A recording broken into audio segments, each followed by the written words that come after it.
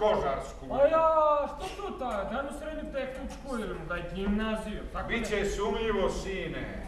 Direktori zadruga obično imaju te neke sporedne škole. Kožarsku, drvno-prerađivačku, mlekarsku. Završit će vrlo dobrim i da ga Bog vidi. Joj, kad bi nas Bog jednom pogledao. Svi imaju neke fajde, a ti Anđelko. Mirjana, rekao sam ti sto puta da ja ovo ne radim zbog fajde. Objasnit ćeš to kad te... Šta? Neće meni niko ništa. Nisam ja kriminalac ko neki. Upamti to. Da, da, nego samo radiš. Šta, šta, šta?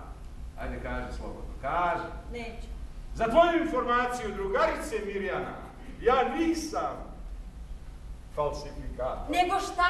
Oni falsifikuju pare, plagiraju slike, prave lažna dokumenta, a šta ja radim? Diplome nisu dokumenta.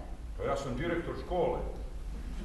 Meni u opisu radnog mesta stoji da sam dužan da potpišem svako svedočanstvo. I onima koji nikada nisu kročili u neku od škola u kojima si ti radio. Pa nisu jer su imali određenih problema. Zašto inače ne bi kao svi ostali pohađali nastavu? Nešto ih je sprečilo, bolest, nemaština, Glupost, lenjost. šta god da je posredi nisu bili, ali su mogli biti moji učenici, jel tako deco? Tako je,